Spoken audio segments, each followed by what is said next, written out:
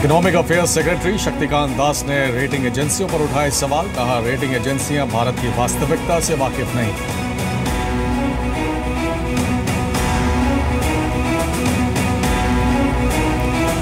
चौथी तिमाही में एवेन्यू सुपरमार्ट्स के शानदार नतीजे, मुनाफा सैंतालीस परसेंट बढ़कर छियानवे करोड़ छियासठ लाख रुपए हुआ, आय भी 40 परसेंट बढ़ी।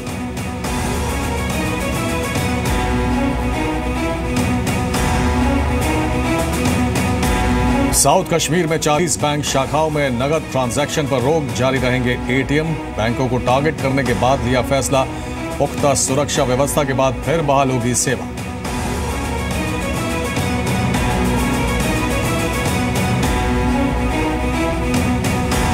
कश्मीर समस्या पर महबूबा मुफ्ती का बड़ा बयान, कहा सिर्फ़ मोदी ही निकाल सकते हैं रास्ता, पूरा मुल्क करेगा समर्थन।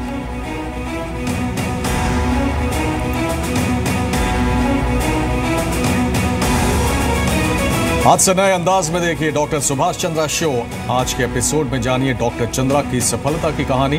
अब से थोड़ी देर में।